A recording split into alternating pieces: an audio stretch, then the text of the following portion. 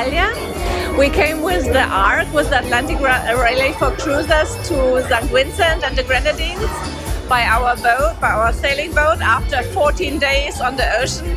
And that was a big event to see the islands first.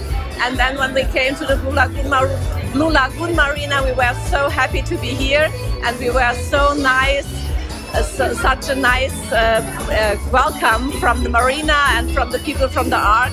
That was our first experience.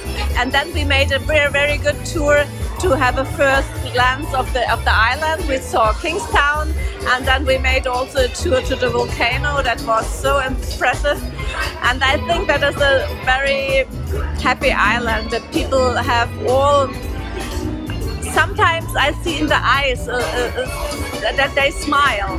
They not even smile with the mouth, but I see it in the eyes. We saw other islands when we were on, on in the Caribbean uh, first three, three, years ago with the cruise, but I think we will we will stay some uh, longer here, going to the other islands, and that uh, just was a very very good experience. We are very glad to be here. Thank you so much.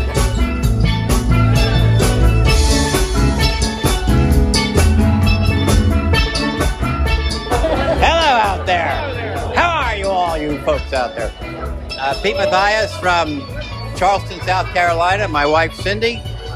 We sailed here from Cape Verde on our new 44 foot Hallberg-Rassy. And the thing we like most is being tied up to a dock right now.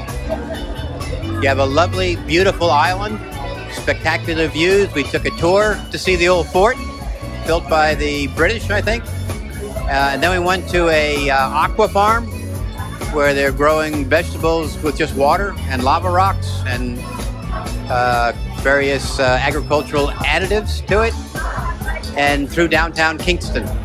St. Vincent and the Grenadines, we'd love to come back. Glad to be here.